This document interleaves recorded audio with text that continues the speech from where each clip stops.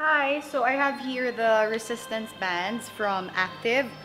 It comes in four, so you have the light, medium, heavy, and heavy and extra heavy. So I'm gonna show you five workouts that you can do. I love bringing this when I travel.